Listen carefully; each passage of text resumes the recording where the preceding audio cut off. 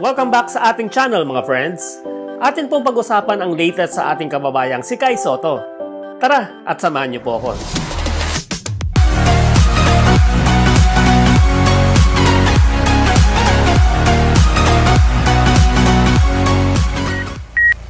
Dalawang araw na nga nang pumutok ang balita ng pagtalon ni Kai Soto sa G-League. Ngunit hanggang ngayon nga ay tuloy pa rin ang usap-usapan para kay Kai Soto.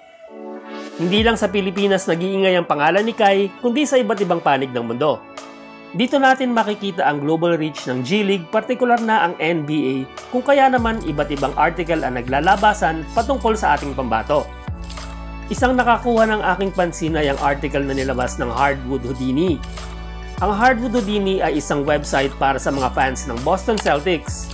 Dito mo mababasa ang iba't ibang balita para sa Celtics at opinion na rin ng kanilang mga fans. Ayon kay Andrew Hughes na site expert ng naturang site, si Kai Soto nga daw ang kailangang targetin ng Boston Celtics sa 2021 NBA Draft. Si Kai daw ang player na magkaka-interest ng Celtics sa listahan ng mga high school prospect na nag-sign up sa Pro Path program ng G-League. Ayon pa sa kanya ay si Kai ang may pinakamalaking potensyal na maging isang dominant player sa naturang grupo at kung magiging maganda ang performance ni Kai sa G-League, ay posibleng gamitin ng Boston Celtics ang isa sa kanilang mga first round picks sa naturang draft. Ang impression nila sa ating pambato ay ang pagkakaroon niya ng iba't ibang skill sets gaya ng kanyang mga outside shots at mga low post moves. Ang footwork nga daw ni Kai ay mahalin tulad ng kay Hakeem Olajuwon, samantalang ang mga outside shots naman ay kahalin tulad ng kay Tim Duncan. Si Kai daw ang isang player na kayang-kayang paluwagin ang shaded area sa pamamagitan ng kanyang mga outside shots, kabilang na dyan ang sa 3-point area. Pagtatapos niya ay si Kai nga daw ang type ng young player na pwedeng-pwedeng gawing long-term cornerstone sa center position na makakapag-complement kina Kemba Walker, Jalen Brown, Gordon Hayward, Jason Tatum, Marcus Smart, at Romeo Langford. Ang mga article na ganito ang nakakapagbigay ng judgment kung tatalon nga si Kai sa G-League. Maaring experimental ang mga top high school prospects na kasali sa unang batch ng naturang programa ng G-League.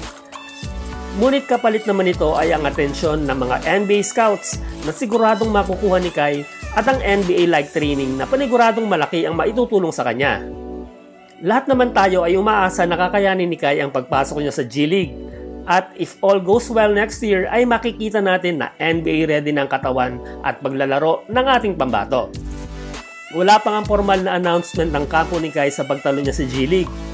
Wala tayong makitang pahayag sa mga social media accounts ni Kai. May isang post akong nakita na di umano ay nag-tweet ng pagbati sa kanya si Coach Rob Johnson, ngunit nang bistahin ko ang mismong Twitter account ni Coach Rob ay wala ang naturang tweet. Ang formal na pahayag lamang ng kanyang kampo ang makakapagtuldok sa mas dumadaming katanungan kesa kasagutan ng balitang pagpasok ni Kai sa G-League. So ayan na lang muna ang ating update para sa ating pambatong si Kai Soto.